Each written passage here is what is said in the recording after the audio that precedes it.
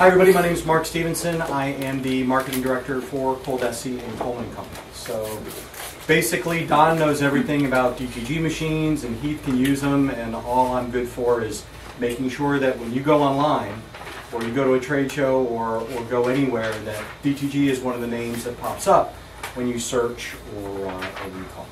So uh, my job is, is just marketing. What I'm going to do today is uh, a couple things. I'm going to do introductions, and that's going to be a little bit different than what you might be used to. We're going to talk about location and location, uh, in person and, onli and online, uh, keywords, random suggestions, things like that. So uh, this is who we are and what we do. I know you've been wandering around for a little bit, but just let me uh, put it down for you. We do t-shirt printing machines, the direct-to-garment printers. Uh, when we look at what words people search for on the internet, like if somebody in your town looks for screen printed shirts or you know, they might look for embroidered polos, those words are very important. And what we found recently is that more people go to the internet and type in t-shirt mach printing machines than they do DTG printers or direct garment printers, things like that. So now, as just part of today's lesson, uh, t-shirt printing machines is up there and not DTG printers. So that, that's one way we do it. We do rhinestone transfer systems, which is the CAMS machines, uh, commercial embroidery machines, of course, which is uh, our SWF, um, Spangle transfer machines, which is new. Um, do you guys see the machines over in the corner? Uh, the new Spangle machine is great. I'm just going to pass this around because it's really neat if you haven't seen Spangles before, because it's new um, and it's uh, a great new technology uh, that we've adopted. Mostly because uh, it's like rhinestones, but it's smooth. So you can wear it as performance wear, washes really well, and extremely profitable. Um, and of course we do supplies. We're attached to Coleman and Company, which is the office right over there. So Coleman and Company sells direct-to-garment printer inks. They sell the um, foils to make uh, your DTG prints a little bit more colorful. They also do embroidery thread, embroidery supplies, rhinestones, etc. So when we talk about introductions, uh, both in person and online, it's really uh, who you are and what you do. Whether it's on a website or Facebook or in person, that's, that's what the whole business is about. Um, most of the small businesses that I talk to, it's, it's word of mouth. You know, it's because someone knows who you are and what you do already, and they introduce you to somebody else. So that's a big deal. Um, and to be obvious about who you are and what you do, both online and in person okay, which I always am. I mean, who am I? I'm on all the videos out there. I'm director of marketing for Coldesi. It's the first thing I said when I met you guys. My name is Mark Stevenson, director of marketing for Coldesi. What do we do? We do t-shirt printing machines, we do rhinestone machines, and in person you guys should be doing the same thing. You should be, hi, my name's Buck, I've got a screen printing business. I do, I specialize in sports team shirts. Here's my card. You know, it's that basic kind of thing that everybody needs to do. Little elevator speed. Little elevator pitch. That's exactly it. You know, it's it's interesting because what I find is, is, is most people don't do that, especially small businesses. You get into the business because you are creative, you're good at embroidering, um, you want to make some extra cash. So, like Don said, you know, you run the machines. Um, you can do the work properly, you can build properly and things like that, but most people are uncomfortable picking up the phone or walking into another business and saying, my name is this, this is my this is what I do for a living. Do you need anything? You know, it's as simple as that. Um, introductions, be obvious. Uh, this is a good one. It's a really great customer customer of ours, First Amendment Tees, and they've got one of the uh, an online T-shirt shop you know, that you can go and you can pick out the shirt and the design you want and put it together. They do a great job with that. But they started this other separate website just on contract DTG printing. So if you're not ready for a DTG printer, you know, you can call these guys up. They won't compete with your customers, and they'll print a couple of shirts for you. They specialize in that. So when they did their website,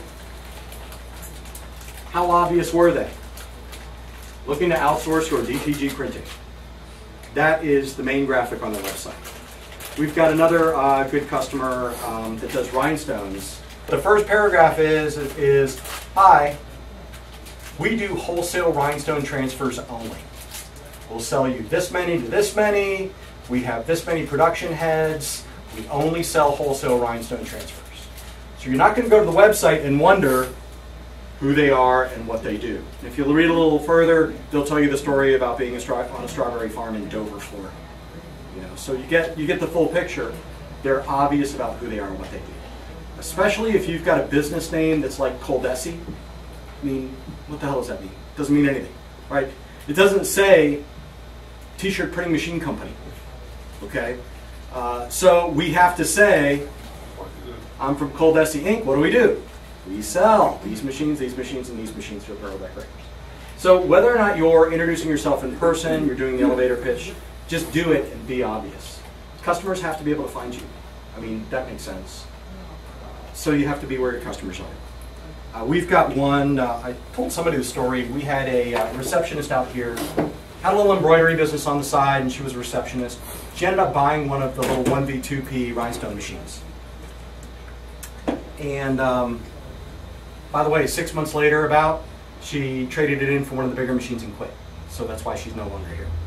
Uh, but her thing is dogs. She does dog rhinestone T-shirts. So where does she go to be where her customers are? She goes to dog shows. Every time there's a there's a pound or a pet show or anything along those lines, you know, she's there. She may not set up a booth, but she's got a shirt, you know, that says who she is and what she does. Which, by the way, I notice nobody here has.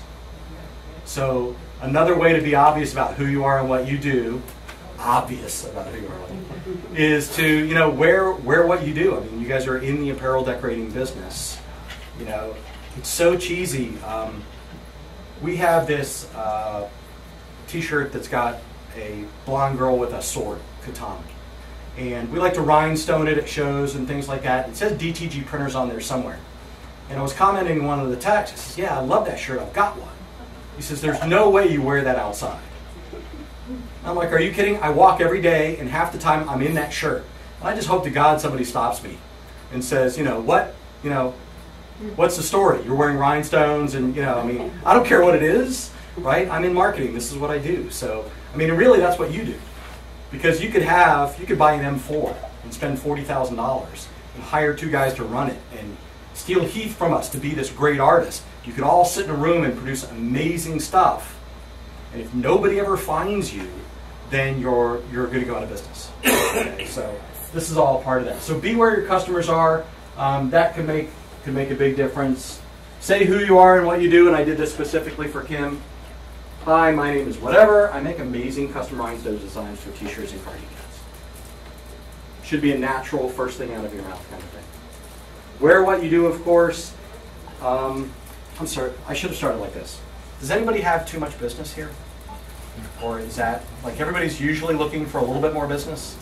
Um, so these are, these are things to help, help you get there. And this is usually the tough one uh, when I talk about networking. Okay, so when most people think about not computer networking, people networking, they think about the uh, you know the guys in the ties and they sell coffee machines and they have their business cards and they all sit down at the table and pass out cards. Okay, um, yeah, I mean that's great because I guarantee if you join a meetup group for entrepreneurs or if you go to a LinkedIn you know session that happens to be in your town or you just go to a chamber of commerce meeting, nine times out of ten you're going to be the only person in that group that prints t-shirts or embroiders out on polos or, or things like that. Because it seems like there are a lot of us out there, but any group of 100 people, there's not. So if you are the person that's obvious and where your customers are, then, then you'll do better. Um, but you have to say what you are, what you do. You have to wear what you do. Networking is what I suggest is look at meetups, um, look at um, look at LinkedIn, uh, look at Chamber of Commerce meetings, go to church socials, um, crash family reunions, you know, anything that you can do where you can wear your shirt and have a business card and just naturally meet people. And it's, it's really simple after you do it a few times. I mean, it really is. And networking also means among your peers. Because I guarantee that within a month, somebody in this room is going to say, man, you know, I got somebody that called me about embroidery designs and I only do screen. Or I've got somebody that I've got you know, an order for 57 shirts and I ran out of ink. Is there somebody else close by that I know, you know, that I can run over and just and just do it? I mean, there's a lot of opportunity for you guys to network with each other and make some money. Um, my friends at um, First Amendment Tees and their contract DTG business. That's how that started. They had a great website and they got a lot of retail business. They started getting calls from people with DTG printers that couldn't handle all their orders. So they needed some place to go, so they set up a separate website. So networking among your peers is a, is a big deal. And, and MAMPAP is my own invention. That's meet as many people as possible. Okay. Um, why is that important? If 10% of your business is word of mouth, if 20% of your business, if 80% of your business is word of mouth, and you knew twice as many people, that is twice as much business. And that's easy to do. Just put yourself in those situations where you'll where you'll meet more people. Okay, more people who know, the more business you will get. Meet as many people as possible. So you're- saying that's online and offline? So- Yeah, absolutely. Uh, I mean, right now we're talking about uh, offline uh, because it's definitely it's actually kind of an easier process um, offline because you don't have to put up your website and wait for people to find you. You know, you can actually just hop in the car and go meet people. No, that, that's not not hard. So, how are you found online? Um, okay, so how many people work out of their homes? Okay, cool. So there is there is something called Google Places for Business. Google Places for Business is when you search for something, like I searched for Tampa custom shirts there. Let's see if I did this right. Okay, so when I search for Tampa custom shirts, I am in Tampa. So see, I've got all these beige listings. Somebody is writing a check for those. Okay, so every time you click on one of those, you're costing somebody money. So if you don't like that person, just sit there all day and click on it. It costs them a lot of money. Okay, if it's your competitors, they'll wonder what's going on. I did not did not really mean that at all.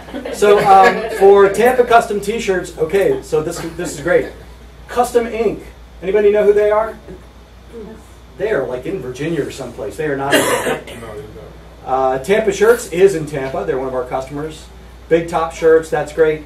These listings right here with the ABC and the um, address next to them, those are Google Places for Business. So you can do this, and it's a free listing. So not always. I mean, maybe in your place, if you go to Fort Lauderdale Custom T-shirts, those spaces, because there's only a certain number, are probably full. But you should still fill out the Google Play, and you can just type in Google Places, and there'll be a spot for you to sign up an account. Okay. Fill out all the information on it, and what it'll do is when somebody is sitting at their computer and they're looking for custom T-shirts or they want to do embroidery, the first things that shows up, Google sees where they are, and they pop up that little map in the corner of the closest places. You've done that, right? If you type in pizza, it shows you the nearest places to you, right? So why why isn't it that way with custom T-shirts? So what you can do is you can get on the map, literally, just by doing the Google Places listing. Now there's also a great opportunity there because if you'll notice, see there there are these reviews. So if you've got good customers, you can sign up on Google Places and just say, hey, I just signed up. You've got a Gmail address. Go and give me a good review. And and if I look down the shirt, oh, I need, I'm looking for a custom T-shirt in Tampa. Let's see. Well, okay, these guys are pretty close to me. One review, two reviews, three reviews, done. I probably wouldn't even read them. Okay, so Google Places for Business is great and it's free.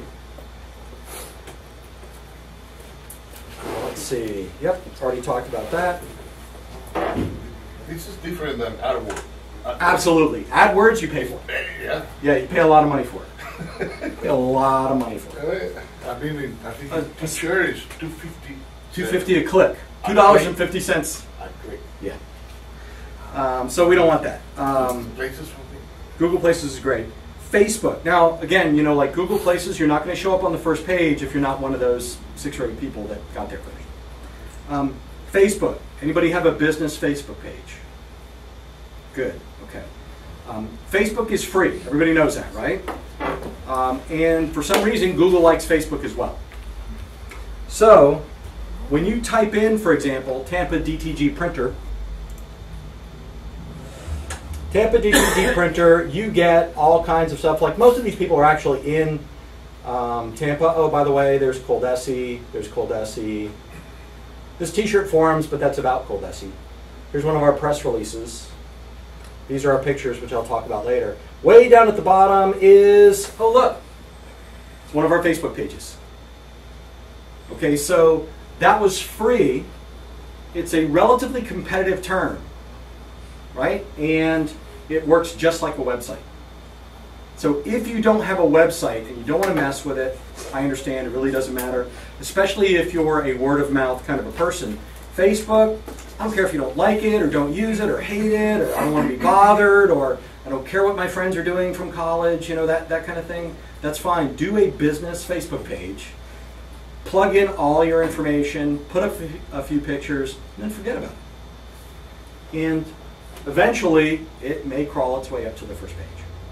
And if you don't have a um, website, at least you can put your business name, you can put your address, you can put your phone number, a few pictures of samples of stuff that you do, description about, what you do, and if there's anything going on, you can put that all on Facebook for free. You can put your Facebook address on a business card and say, hey, at least you don't have to answer that question, right? So, okay, so Tim, hi, my name's Tim. I've got a T-shirt business. Great. What's your website address? You know, can I email you? Well, yeah, but you know, here's my card. It's got my Facebook. Everything is there. You know, you can you can use it just like a website. YouTube is my favorite. We have, I think we're up to 330 videos on YouTube for Coldesi. Um, and we do that for a reason. So if you type in, it's my favorite one, custom t-shirt business marketing, number two is the presentation that I did for our Rhinestone open house, which is basically the same presentation that I just made a video of. I just turned the PowerPoint into video, and I put it on there, and it's on the first page of Google for this particular topic. Now, I went through and I searched a bunch of different uh, custom t-shirt related terms to see what would look best, be the easiest explanation for you guys for all this stuff. And you know what I found was very few videos. Google likes to put um, a mix of things on the front page because 35% of that front page is advertisements. So that's why they put the Google Map placements on there. That's why you'll see a line of pictures on there. They like to put different things on the front page because it it uh, provides us with more value. If you're you know typing in cooking utensils, you might be looking for an article, but also it's cool to find a video. Okay, so that's how this one got on the front page. There are a lot of keywords in your area. If you go back and you do, let's say you do um, religious embroidery, faith-based embroidery. But when you type in faith-based embroidery in Google, there's no videos on the first page. Take your phone, point it at anything, name the video faith-based, faith-based embroidery, and then fill in the description as much as possible that they allow you to do and put it up on YouTube. Link it to your Facebook page. And stuff like this will happen. There are whole businesses that do nothing but go to companies like yours and say, you know what, for $3,000, I'll shoot a video of your business and I'll put it online and you'll rank in Google. It's not the magic of the video or the production values or whether or not you think you look good or whether or not your shop is ugly. You know, it doesn't really matter. Put something up there with the keywords that you find, and, and you'll do better. You'll, you'll definitely do better. Because not only might you might you um, show up on the first page, but you're going to put your a link to your website or your Facebook page in there. And one of the ways that search engines like Google decide what which results to show is uh, how many links go to that page. Because they figure, oh, if a lot of people are linking, you know, so you can click through to find that information, then it must be important. It must be useful. Because 500 people in the Miami area have clicked on this link in the past couple of months, that must really be useful. Let me move it up the search ranks a little bit because that's what people are looking for. So if you do your YouTube video, you put a link to your website, maybe they'll watch it and click on it and come see you. even if no one ever does, it's still good for your website or your Facebook. Okay? And you track that by the amount of people that have gone through. Yeah, if you If you if you want to like if you want to track all this stuff, you can definitely use Google Analytics or YouTube has that available. But just from like a fundamental standpoint, um, it is going to work in the background. Whether or not you track how many people come to your website or whatever, that's a completely different process, right? For most people, if you just you know you'll you'll see a difference in the phone calls. You know that'll that'll definitely happen. Okay, so that's YouTube. Pictures. Okay, I started with Yorkies because I live in the South Tampa area where, like, it's you know, welcome to South Tampa. Here's your Yorkie. You know, it's like that. Um, not me though. So I typed in custom Yorkie T-shirt. Now this really is pretty much only if you have a website. Okay, because what we're going to talk about is this little line right here. So remember I said Google likes different things. So on this page of custom Yorkie t-shirts, here I'll you. I don't know why you would want, but just like um, just like Don was saying, he used a much cooler example. The red 65 Mustang, which is exactly what I wanted. I mean, red 65 Mustang is very specific. Custom Yorkie t-shirts, very specific. Okay, so just so you know, if you look at the top here, somebody paid for all those. Okay, those are paid listings. That's paid. Zazzle, Cafe Press, these are the big guys. Another Cafe Press. Ca- oh, look. T shirts. Now, Zazzle and Cafe Press apparently almost have the, um, the market cornered on custom Yorkie t shirts. But these are all pictures that belong to somebody's website. So Google went out and found the content that it liked. There aren't any videos about this. So if you put a Yorkie in a t shirt and did a video, um, it would probably do really well. But this was free. So if you've got a website and you just put a picture of every job that you do, and you, you um, there's a place where you put the title in and you put the tags in the background, and you just type in those words, custom Yorkie T-shirt or Fort Lauderdale embroidery sample or you know whatever you decide applies to your business, then you have a chance to show up. And again, it's free. Okay, and this is kind of what I was referring to is um, in the last couple of examples is keywords and phrases. Pick three or four and put them in everything that you do. What, what do you guys do? do um, blingware, we call it. Okay. Rhinestones and Is there a particular market that you service or an area where you're located? uh, we're here in Tampa Okay. and um, South Tampa. We do this logo pretty much. Cool. So you could do um, South Tampa rhinestone T-shirts, South Tampa logo wear, um, custom South Tampa rhinestone stuff. Okay. So you pick three or four of those. If you are an embroiderer in Tallahassee, you know it might be Tallahassee custom embroidery. It might be um, wholesale uniform embroidery. And then the name of your town. So whatever you pick, like so, and the way to the way to choose these things is sit down at the computer and try to find yourself. You know, what would you type in if you were looking for you? You know, okay, I'm in Tampa. I want to get a half dozen rhinestone T-shirts because I'm sponsoring a charity event. You know, maybe it's a uh, brain cancer charity. So there's something going on with that in Tampa right now. Rhinestone charity T-shirts, Tampa. Well, if I type in rhinestone charity T-shirts, and you've done Google Places for rhinestone T-shirts, then you're going to come up because you're close to me. Okay. If you have a picture of a T-shirt that you've done that is a rhinestone charity T-shirt, and you put that on your website and you name it that, the picture might come up. If you do a video of you, hey, this is how to make a rhinestone charity T-shirt. Do that, and you tag it to go to your website, you might come up. So those are three ways that you can get found online for free, you know, that apply to you. What you've got to do first, though, before you start doing any of this, is just sit down and pick those phrases. How how are people going to find you? You know, and by the way, they happen to be the same things that you're going to use to introduce yourself personally. Right? Hi, my name's John. I make rhinestone t-shirts in South Tampa. Hi, my name is Steve. I do custom printed dog shirts, mostly, but I'll do something special for you. So whatever whatever those words are, that's those are your phrases.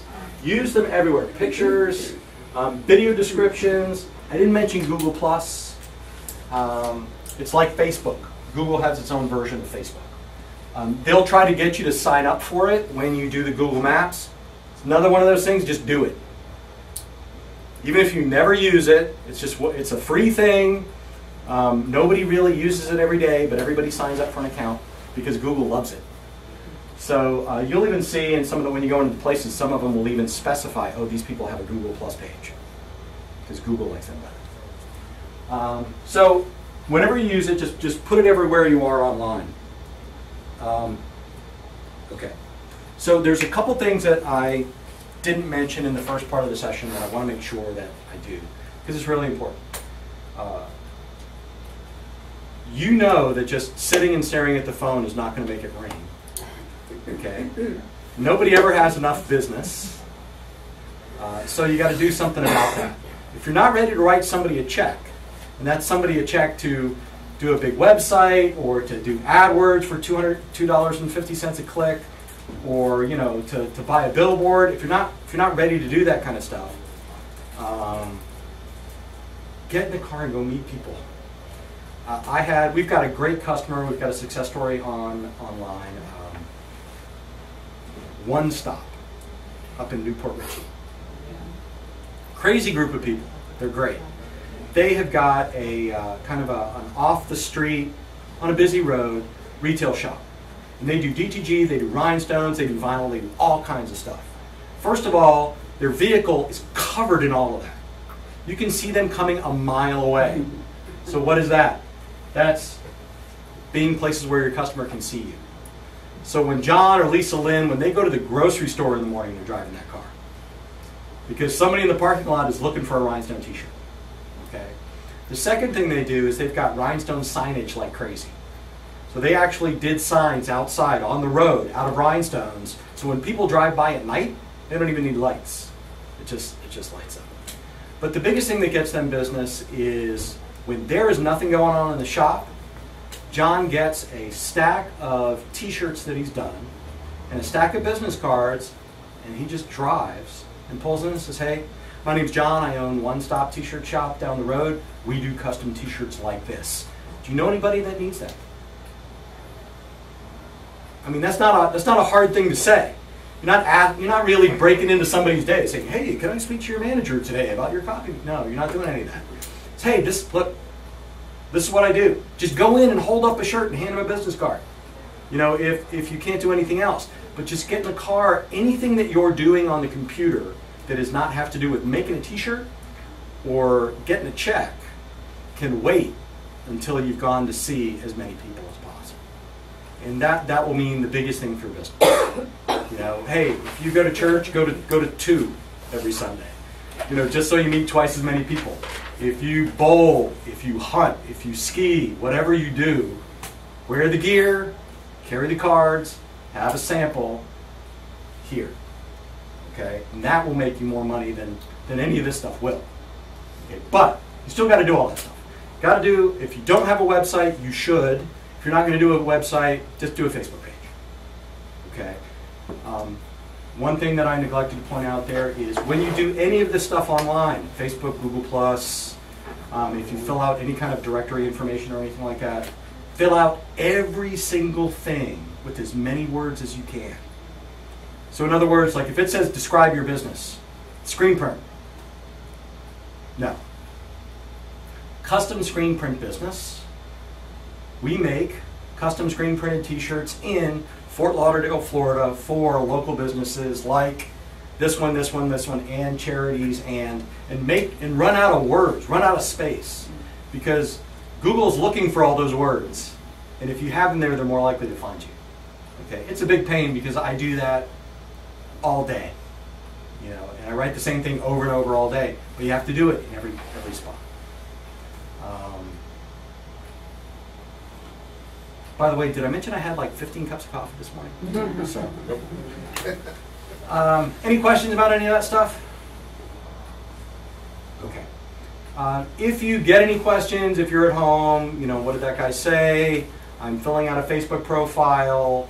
Um, I, you know, should I do AdWords? Should I, you know, do any of that stuff? Um, you're welcome to give me a call. Just, just give me a shout and we'll talk about it. Uh, this presentation, one version is already recorded up online. You can find it in nine different places, right? Because I want to be found everywhere. I want our business to be found everywhere. So whatever I do, I never do it in just one spot. I never just do a Twitter post. I always post it to Facebook and Google Plus and put it on the website and do a press release and talk to people about it on the street and at the grocery store and the dry cleaner and things like that. So if you guys do the same thing, I'm sure you'll see an increase in your business. Have you ever seen an example of a video that's been done from a DTG printer that created like like stood out in your head? Like, is it something that's not a picture of, or a video of the store, but it's something like the Yorkie with the shirt on, like something that's you know, I, I haven't seen, I, I used to see some of those, but frankly, once we started doing the DTG printer videos, I can't find them anymore yeah. because all I find is ours. our most our, our most popular DTG video is one about uh, starting a um, custom T-shirt business, Right. and it's about 12 minutes long, and uh, I think we've gotten 32,000, 33,000 views on it, and a lot of customers, because someone is someone is typing in how to start a custom T-shirt business. Does CafePress or Zazzle have videos out there that promote their screen printing? Nope. That's why on a lot of pages that you see Zazzle, like the custom Yorkie T-shirt thing, Yeah. there's no videos. Hmm. So they do pictures and they do. That's why I said, like, if, in your market, if there are no videos, then shoot one. Of You just know. your products, you know, what's available. Absolutely, Yeah. of, of anything, of anything. I mean, the videos that I do, I mean, some of them are really bad. You know, I'll just take my phone and I'll go and point at it. Heath, what are you doing? I'm washing the back of the DTG printer. Great, let me see how you do that. Okay, put it on YouTube. Washing a DTG printer. And I guarantee one day one of you will go, How do I clean this thing? Clean a DTG, DTG printer. And there'll be Heath, right? And it'll be a, a 90 second video, but it'll be at the on the first page.